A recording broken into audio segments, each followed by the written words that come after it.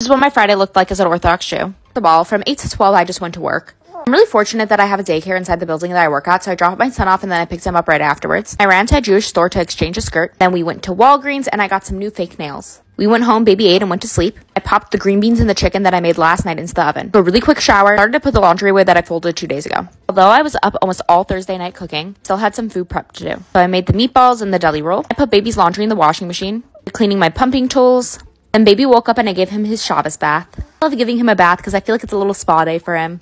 Then I put baby into his Shabbos outfit. It's super cute. While I gave him a bath, my husband set the table and the Shabbos candles for me. I started cleaning the crazy mess I made in the kitchen. Let me tell you, I could not wait until I could take a Shabbos nap. And I started pre-ripping everything I might need because I don't rip things on Shabbos, so I ripped the tinfoil, the paper towel, and the toilet paper. Shabbos was about to start really soon, so me and baby went upstairs so I could do my Shabbos makeup and put on my Shabbos clothes.